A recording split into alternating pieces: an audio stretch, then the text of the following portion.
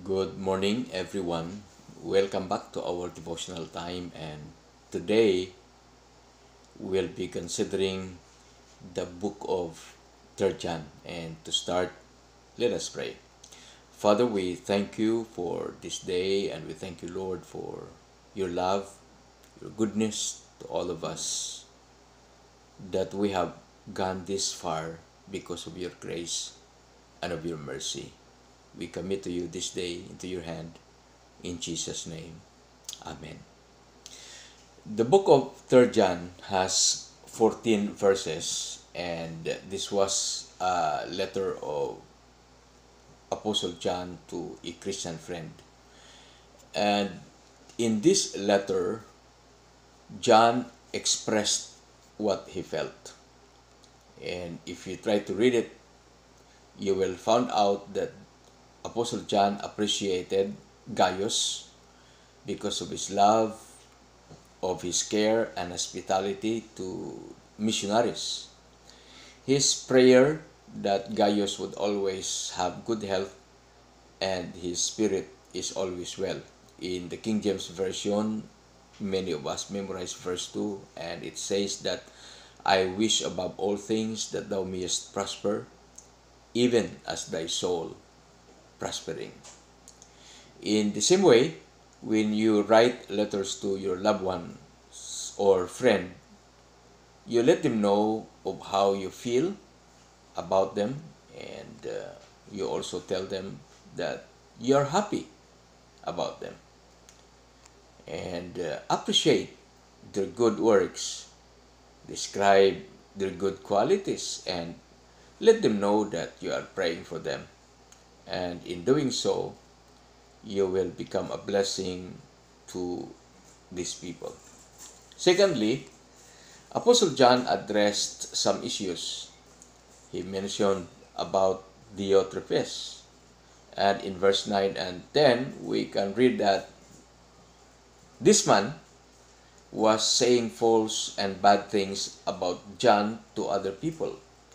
He was doing something worse he refuses to receive Christians from other places when they meet together. And he will not let them teach the Christians in the town. And if someone wants to receive those missionaries or traveling Christians, he does not let them. And for those who are receiving these missionaries, he even sends away them from their town. Now, why Diotrephes was doing this? In verse 9, he said that because he wants to be the only important person among them. And so John the Beloved was advising the believers. In verse 11, he said, My dear friend, do not copy bad people. Instead, you should copy what good people do. The person who does good things is a child of God, but the person who does bad things does not know God. He also mentioned Demetrius in verse 12 that this man, Demetrius, was a good person. He really lives as God wants. Now, how do we apply this to, this to our Christian life?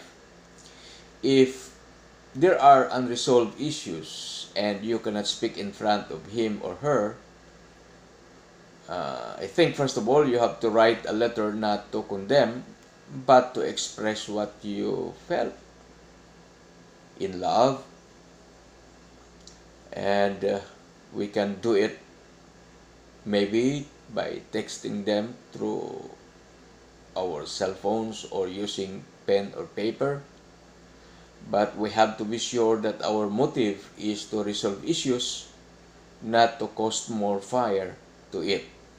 And uh, do not put it in Facebook to be read by public. Just do it in a personal message. And thirdly, that John the Beloved wants to encourage his friends. That's why he said in verse 6 continue to help people who are like that or he is a, uh, talking about Demetrius. And he said that you have to give them what they need to travel.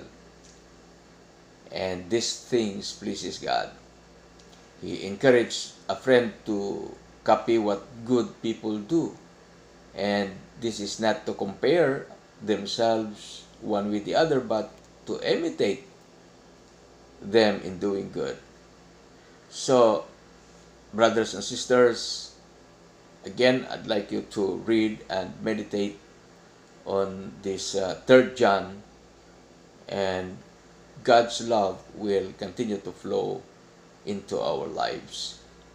And we will be blessed and will enjoy peace that is in Christ Jesus. So let's pray that the Lord will also help us, like Demetrius and Gaius, who really give themselves for the furtherance of the gospel. Let us pray.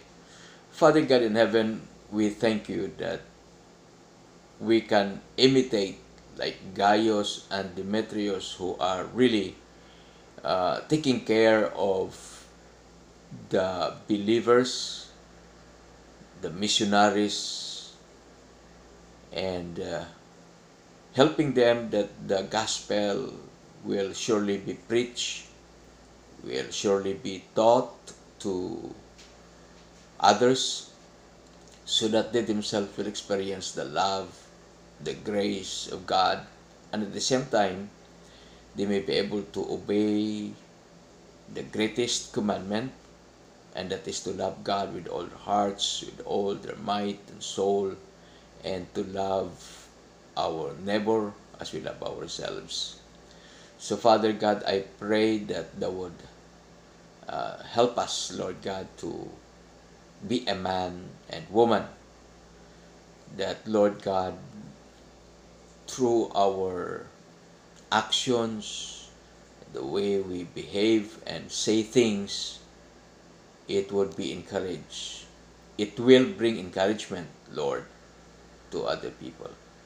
So we do commit to you our lives today. Bless each one and protect your people. And those who are not feeling well, Lord, thank you that you are touching their lives and healing them with your love and with your care. In Jesus' name, Amen and Amen. God bless. See you again next time in our devotion.